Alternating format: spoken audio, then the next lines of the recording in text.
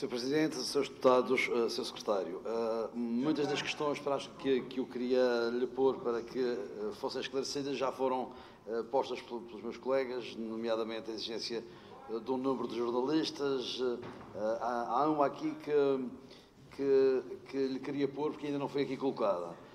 Porquê ser condição de elegibilidade o caráter de generalista do, do, do órgão de comunicação? Por que não estar abrangido os, uh, aqueles que se dediquem a áreas específicas, científicas, técnicas, uh, culturais, porque é que não estão aqui abrangidas? Uh, uma outra questão, mantém-se em vigor a legislação nacional, nomeadamente o Decreto-Lei 23 2015, como é que vai interagir esta, que é para uma realidade nacional e este que se propõe agora criar é só para uma realidade regional, como é que se vai conseguir que estes dois diplomas funcionem de facto ao mesmo tempo.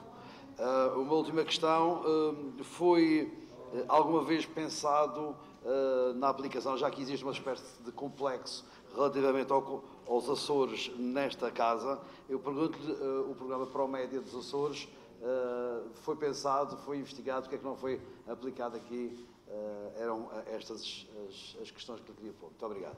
Porquê é que privilegiamos a informação generalista?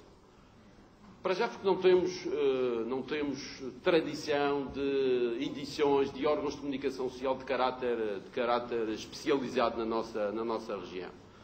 Uh, em primeiro lugar, por algumas, algumas publicações, mas não me parece que tenham uma relevância suficiente para justificar uma despesa pública com, essas, com o suporte a essas publicações. Até pelo, pelo que sabemos, essas publicações não têm apresentado uh, grandes problemas em termos da sua viabilidade, viabilidade financeira. E, por outro lado, e acima de tudo, Sr. Deputado Adolfo Brazão, porque queremos privilegiar os órgãos de informação de caráter generalista, porque são esses que são tradicionalmente procurados pela população.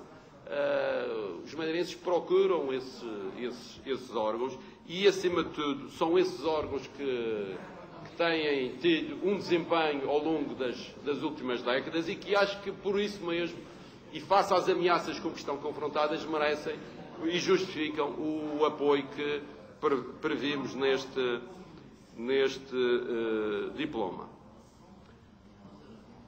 Relativamente ao Promédia, ao regime de apoios uh, nos Açores. Sr. Deputado foquei bem, lembrei bem que, tem, que, a região autónoma dos Açores tem um regime de, desta, desta, natureza, um pouco diferente daquele que nós temos agora aqui, estamos agora aqui a, a debater. Nos Açores, esse regime de apoios é também ao investimento e é um regime de apoios que, de certa forma, duplica o regime de apoios que está previsto em termos nacionais. Nós aqui quisemos completar o chapéu de apoios. Ou seja, temos um regime de apoios ao investimento em termos nacionais, temos também um regime de apoios à distribuição da responsabilidade nacional e achamos que o, o que era lacuna e era importante para viabilizar os órgãos de comunicação social na Madeira era termos um regime de apoios ao funcionamento. Pudesse ser alternativa àquele que existe neste momento e que é apoiado pelos fundos estruturais, nomeadamente o sistema de funcionamento o chamado SI 2020 o SI funcionamento. As empresas de comunicação social irão escolher ou um ou outro, não se poderão candidatar aos dois. Ainda que uh, uh, nós acreditemos que, em princípio, as empresas do setor irão candidatar-se a este, até porque este tenderá a ser mais favorável do que o SI uh, 2020. espero ter respondido às suas, às suas questões. Muito obrigado.